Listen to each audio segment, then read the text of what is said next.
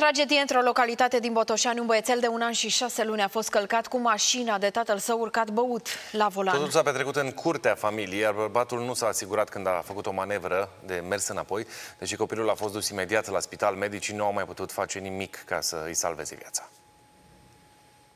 Tragedia a avut loc în Vorniceni, județul Botoșani. Băiețelul de un an și jumătate era în curte când tatăl său a urcat la volan și a încercat să dea cu spatele. Nu s-a asigurat, așa că în momentul în care a mișcat autoturismul, l-a prins pe cel mic sub roți. Aici eu dat cu mașina. În curte. Fără să vrei, nu o băgat de seamă, copilașul a fugit, o, o dat cu spatele și nu l-a văzut și asta.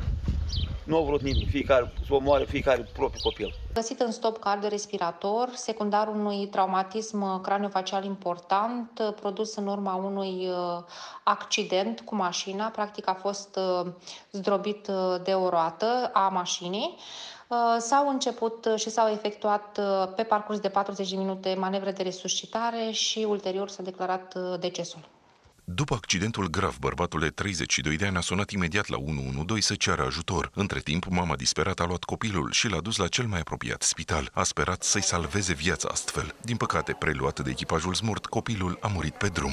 Tatăl acestuia a fost testat cu aparatul etilotest, valoarea rezultată fiind de 1,37 mg per litru alcool pur în aerul expirat, urmând a fi recoltate și probe biologice de sânge, care vor stabili alcoolemia. Polițiștii sosiți la locul accidentului au descoperit că tatăl copilului băuse cam mult înainte să urce la volan. Întreaga comunitate este acum în stare de șoc. Știam, da, l-am văzut să juca. Da, cât copii avea?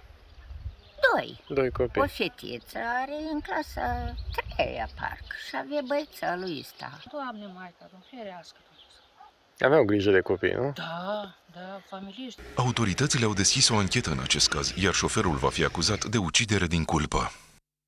Afli oriunde ai fi, în timp real, observator. Noi ne vedem la ora 19 live pe Antena 1 și Antena Play.